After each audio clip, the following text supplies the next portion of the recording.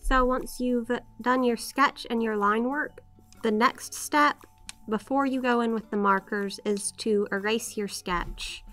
And how you do this depends on what paper you're using. With this paper, it's fine to just use um, a regular vinyl eraser. With things like synthetic or coated paper, you want to be a bit more careful because they're way more prone to smudging. And with those, instead of using an eraser, I'll often just try to lift up the pencil with the marker ink as I draw. You don't have to 100% get all of your pencil lines up, but you do want to get rid of everything that's in a highlight and also anything that is outside of the area that will be colored. And then you're ready to start coloring.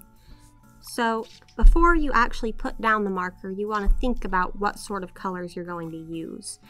And a color chart really helps with this. I've got one here. You want to make one separately for each kind of paper you use because since they're semi-transparent, the Copics and all other alcohol-based markers too will look very different on different papers, even papers that are the same color if the texture is different. And this is especially apparent on toned paper because an alcohol based marker will not make a color that is lighter than the paper. So if you want to have a highlight lighter than the paper itself, you do have to use a white pen instead of one of your markers. For this particular piece, I think I'm going to go with fairly natural colors, but with some blues and greens in the shadows and some warmer oranges and yellows in the highlights. And usually I do start on an area that's a little bit less central or at least a little smaller so that if I decide that I don't actually like the color I've picked out, I can switch it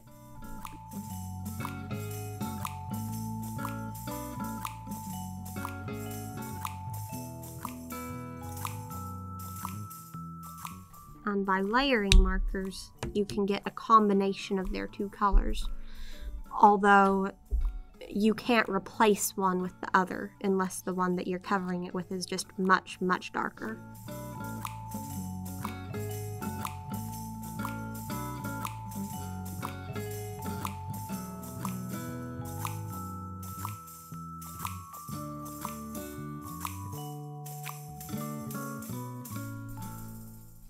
Instead of just going for straight green in my shadows, I'm going to layer them with one of my more pinkish flesh tone markers so that they look natural as part of the face.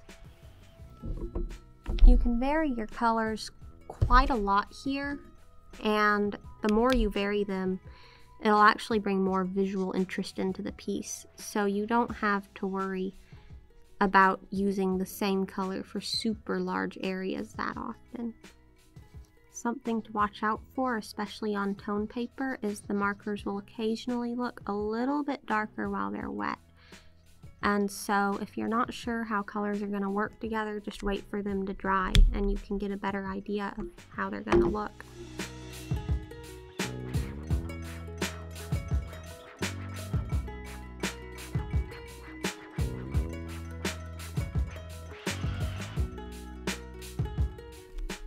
Using this warmer green in the shadows on the light side of the face and I'll use a cooler green on the shadow side of the face.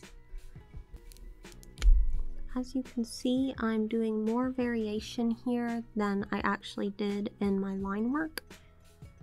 And that's because as you look at the reference, you'll see more areas that have that variation course, the more markers you have, the easier this is, but it can take quite some time to amass a large collection of markers. In order to get my current collection of markers, for instance, I have actually been collecting them for nine years. And so if you have a smaller selection, you can do some of your shading with your pen when you're inking, and that will add some more variation even when you're coloring with the same marker.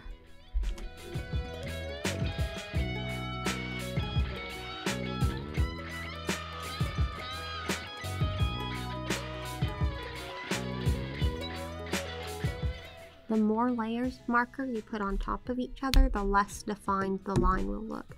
It won't lose its definition entirely, but it will be a little less sharp.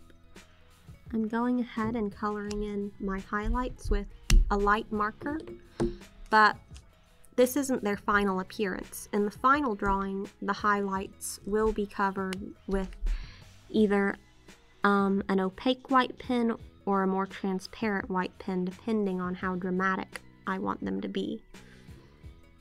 Another thing you can keep in mind when you're deciding which colors to use in your shadows is that cooler colors generally look more in shadow, so for my darkest shadows I often try to go for a somewhat cooler color. For the whites of the eyes, I'm also going to use some greens in the shadows Um, I'm going to go with pretty light greens here, although in some of the darkest shadow areas I'll use my darker one. And for the main part of the white of the eye that's not in as much shadow as the rest, I'm going to go with an even lighter, more yellowy green. For the iris, it will ultimately be brown, but I'm first adding some of the darker areas with the green, and then I'll go over them with the brown afterwards. Once again, there's a lot of give and take here. You always want to keep yourself free to make changes if you want. Obviously, you can't actually erase the pen lines, but you can make additions and you can keep the color constant between multiple areas if you want.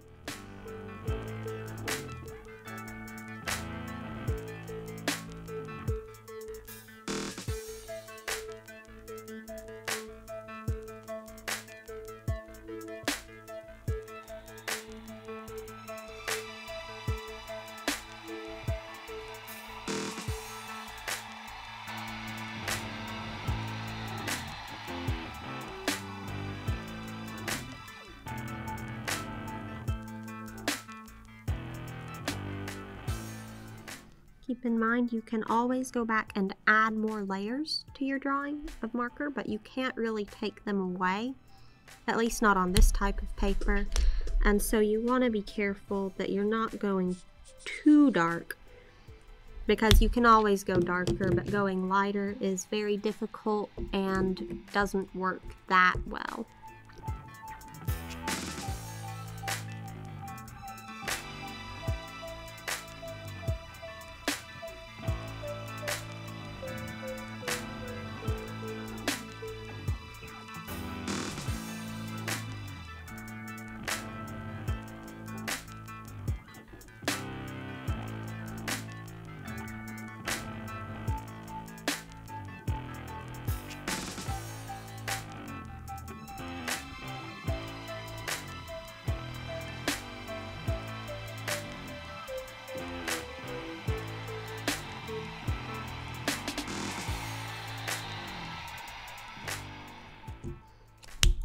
Actually gone a little bit out of the lines by accident.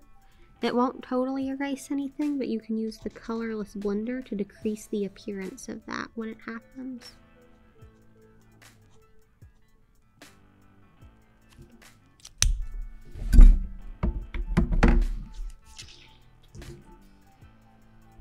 Now you want to leave that area alone for a minute and work somewhere else while it dries because it will be a little more sensitive to smudging until it dries.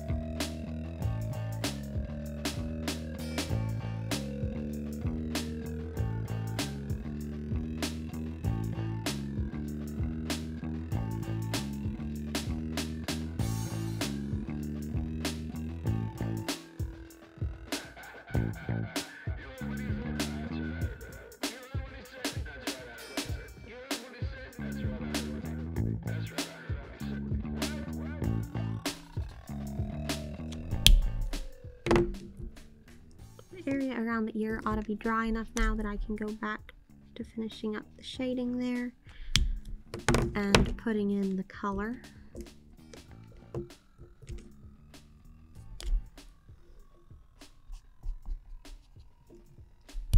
Now I've pretty much finished up with the light side of the face.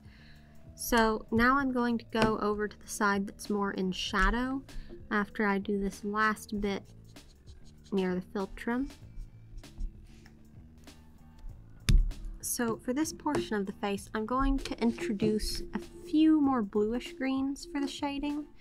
Nothing extreme, it needs to stay consistent. And on this side of the face, there's actually a couple of bluish highlights. So I will put those down too.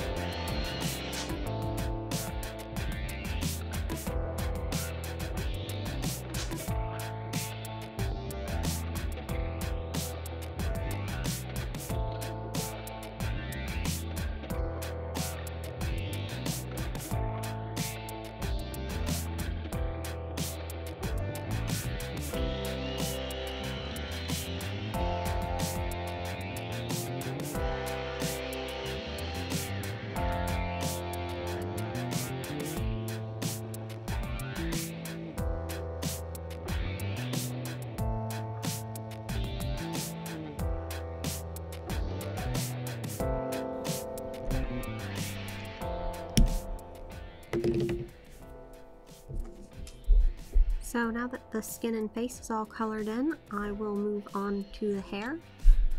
A lot of very dark areas in this piece are in the hair, and so I will start out with some of the marker I've been using for my darkest shadows as an undertone.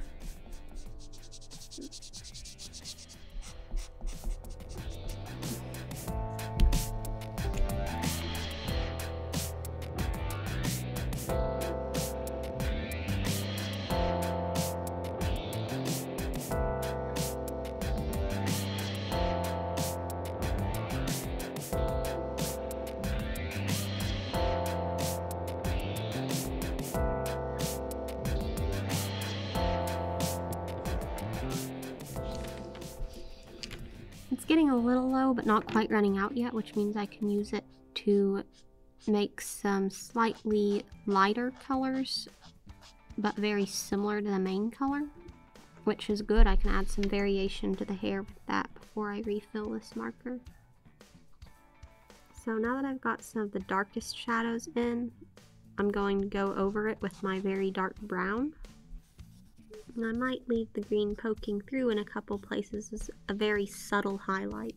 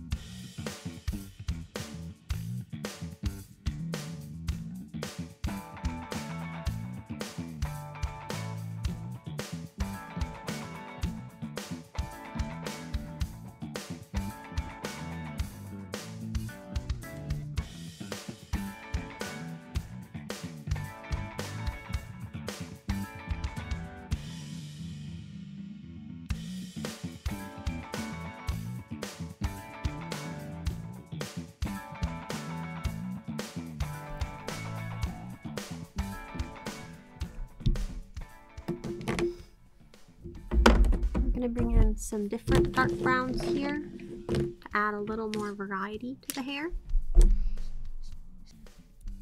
Go a little bit lighter over here.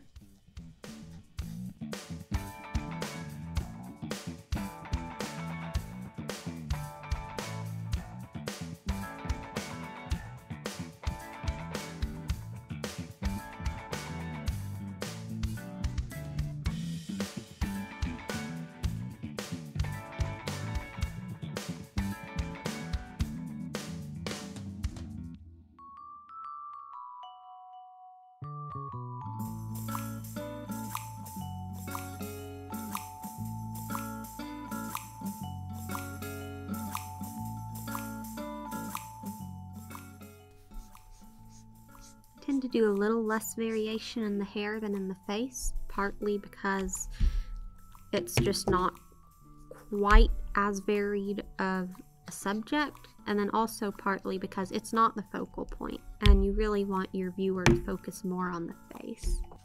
Instead of trying to draw each individual strand, it's much easier and more cohesive to draw your hair's color in blocked out areas based on where the highlights and shadows are. If you want to go for extreme realism, you can try to do every strand individually, but you will be there like all week.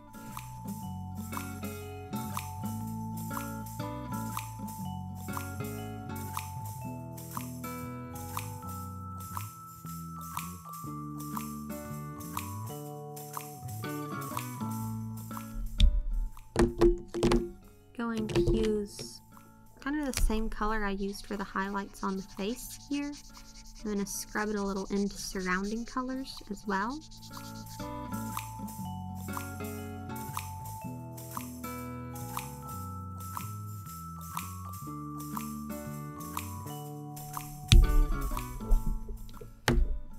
And now that the hair is done, I'm going to move on to the glasses and then the clothes. Those are the last couple steps here. Instead of going plain black on the glasses, which tends to look a little bit bland, I'm going to use some very dark blues and greens as well as some highlights elsewhere.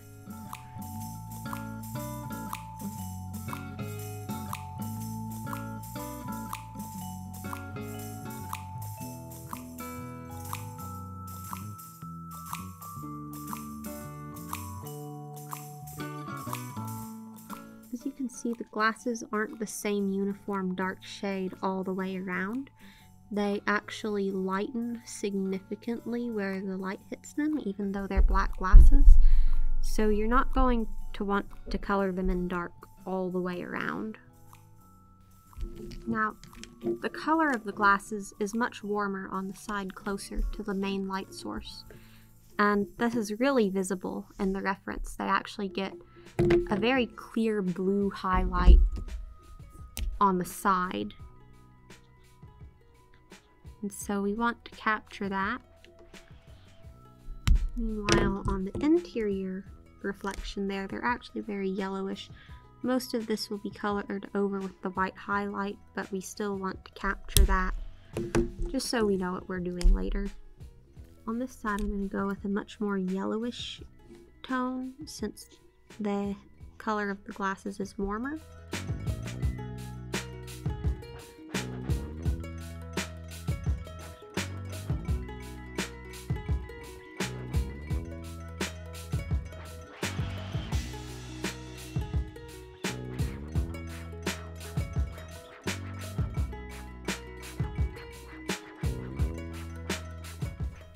there we go. The glasses are, for the most part, taken care of.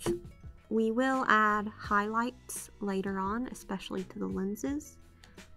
And if you'd like, something you can do to really add to the feel that the glasses have lenses is to go over the lens area, at least partially, with a color that only fits the lens area and doesn't go with the bounds of the face itself. There isn't as much reflection on the other lens, so we're going to leave it alone and not do that as much there. Just a little bit up in the top corner. So now all that's left aside from adding on the final highlights is the clothing. Here we're going to start out with the lightest section of the shirt area, which is the necklace so we're going to mark out its location. You don't have to be too careful here since this shirt is going to be very dark and so that'll cover up any bleed from the necklace. For some reason, the brush tip will occasionally come out darker than the chisel tip. This presumably is caused by dried up ink in it, I think.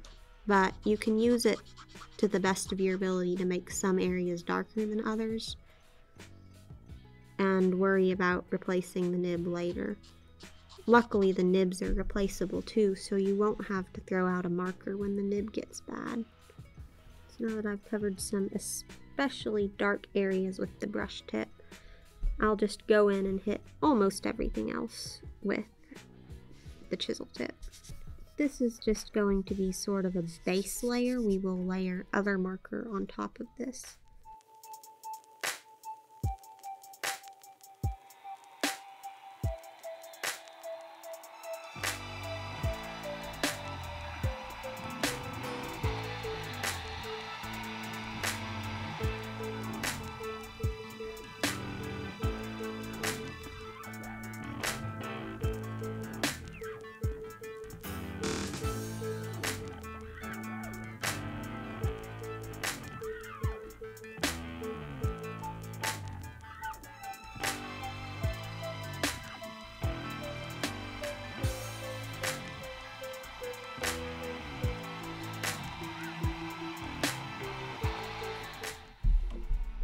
Can see, when coloring in a large field like this, the color becomes a little bit patchy.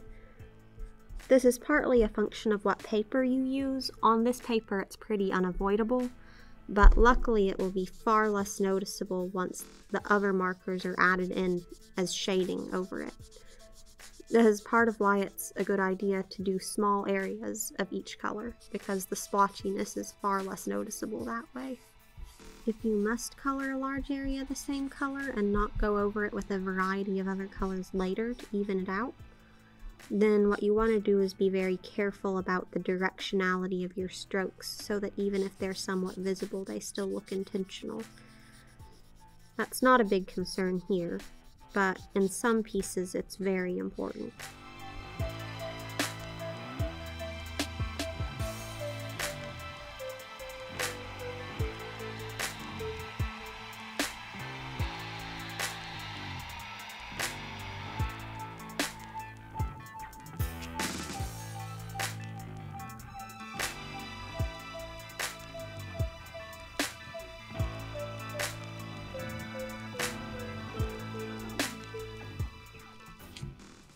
Since we're not using any pure black on this piece, we have to make a choice. We can either use all greens as the sort of natural dark black here, or we can bring in some of the browns to tie it in with the hair. I'm going to bring in some brown because it will help unify the hair with the shirt. You don't have to be 100% committed to realism when you're doing this.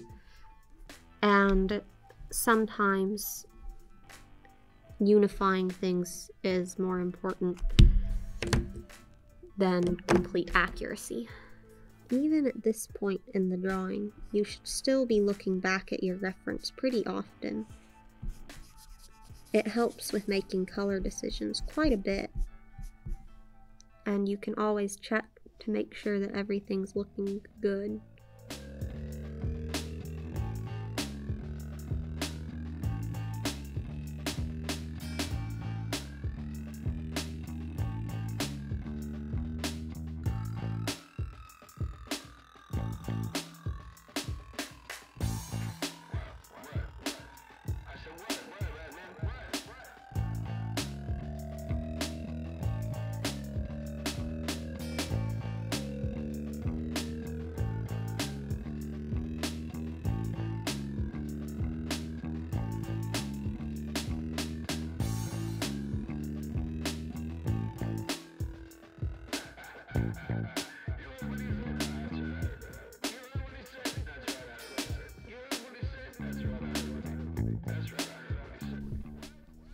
So that ought to do it for the shirt and now we're going to move on to doing the lapel of the jacket.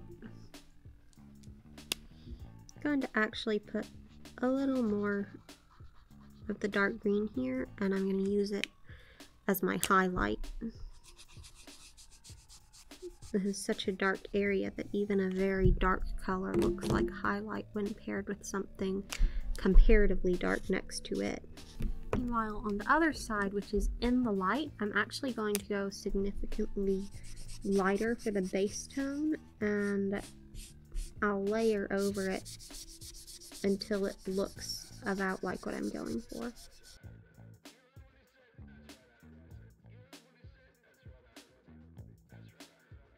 And that looks about right. So now all we've got left to do is the sequined areas and the bright highlights.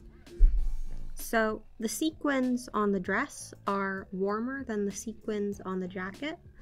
And so for the dark areas of the dress sequins, I'm actually going to go straight for um, a fairly warm dark brown. You can sort of do the stippling effect to give some more detail to the sequins without actually having to individually render every sequin. Throw down some nice gold on the zipper. Um, and then I'm going to get to the lighter colored sequins on the dress. Now, this area right here is going to be a bright highlight. I'm going to indicate that for myself here with my very light yellow orange. I'll put some of that over the um, zipper as well. I'll do that for the zipper actually on both sides. And again, we're going to go over these highlights later with a white pen so that they are much lighter. So now we have the rest of the sequins. In this light, some of them actually have a very pinkish orange cast to them. And so for those, I'm going to pick out a nice, like, sort of light yellowish red color. And for the others, I'm going to use more of a golden yellow.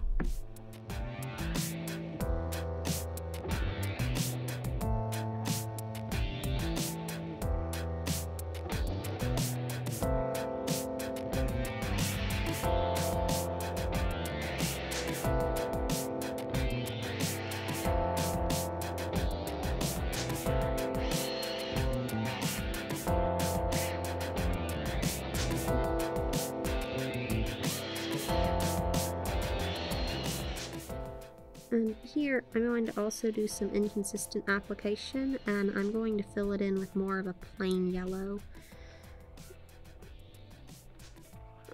This will really differentiate it from the pinkish gold.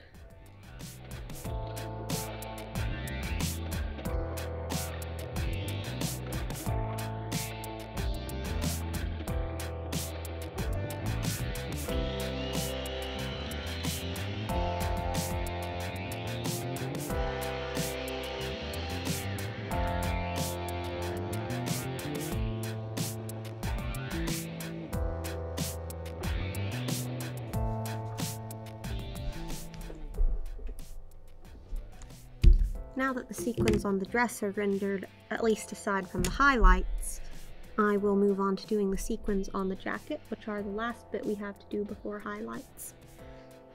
Now, the jacket is more of a greenish gold, at least a little bit. And so, um, it will have a more similar black to the jacket going to use the flagstone blue again here.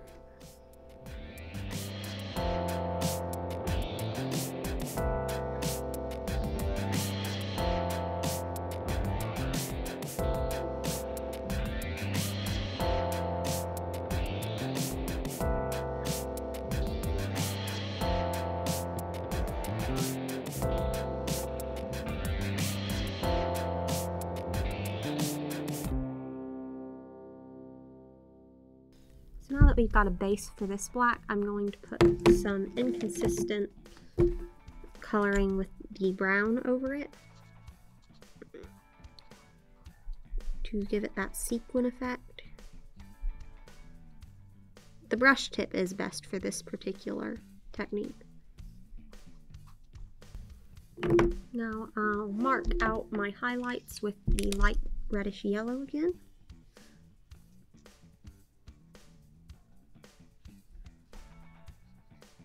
Then I'll get into my sequins.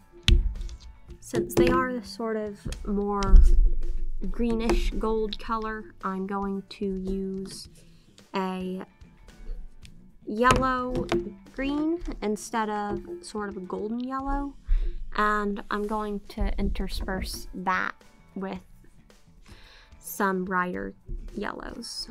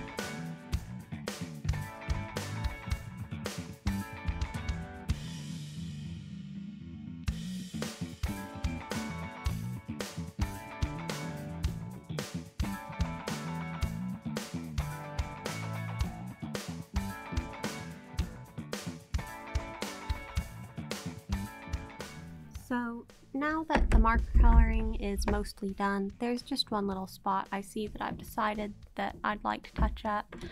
Um, I'm about to move on to the highlights. So for the highlights, I'm going to use this white pen here because Copic markers won't go lighter than the substrate that they're on and I want my highlights to be lighter than the shade of this paper.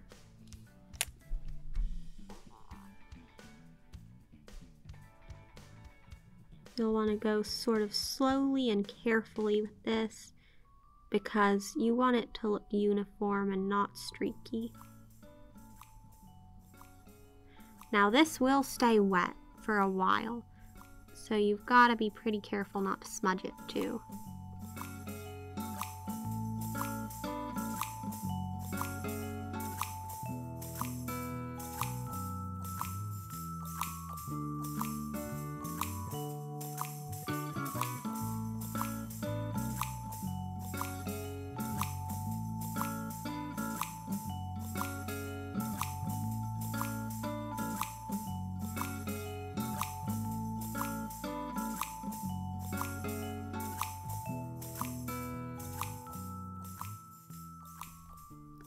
See, I'm mostly just using this to sort of suggest the edges of where highlights are and add a little extra oomph except for in the very brightest areas.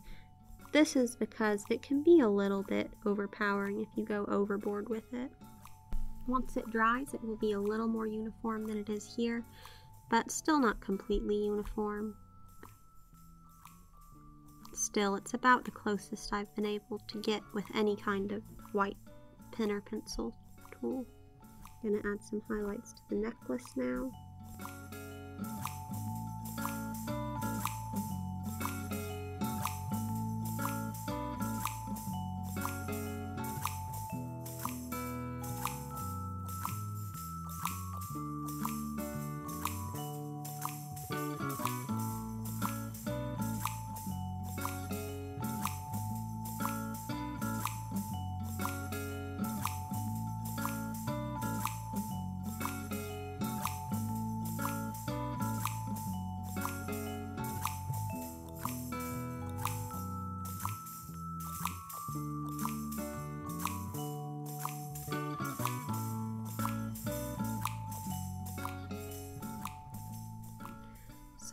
everything has its highlights except for the hair, so I'll do the hair now. Oh, and this one little spot beside the eye.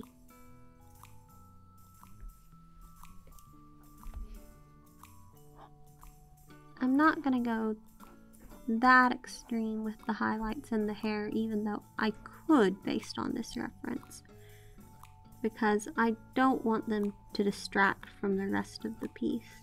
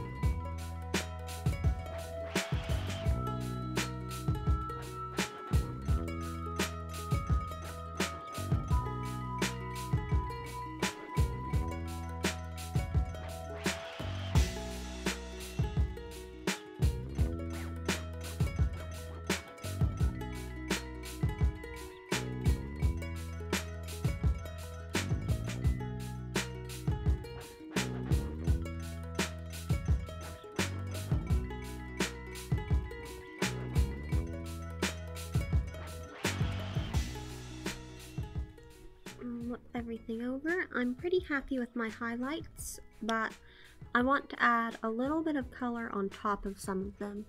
And to do this, you just look and make sure that they're pretty dry, and then you can just add a little marker on top.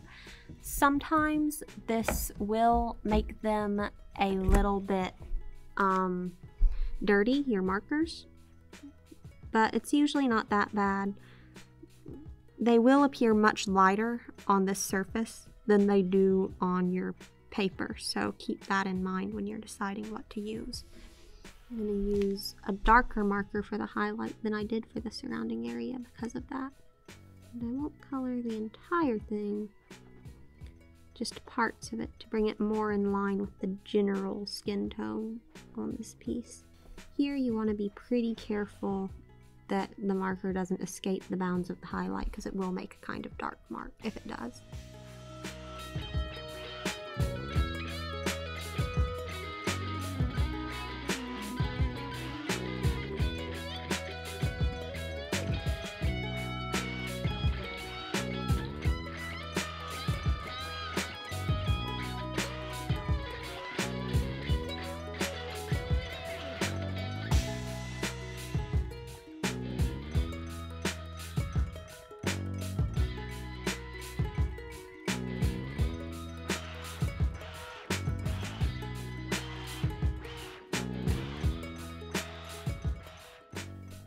And that's all. All that's left to do is sign the piece.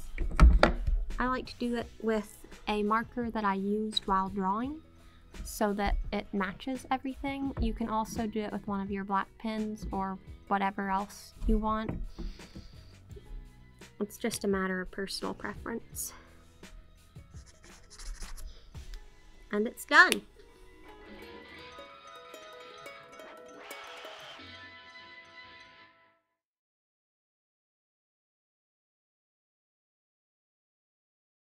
Thank you for watching this demonstration. I hope that you've enjoyed it, and you should check out the other videos on the Art League channel. Have a great day. Awesome. Beautiful.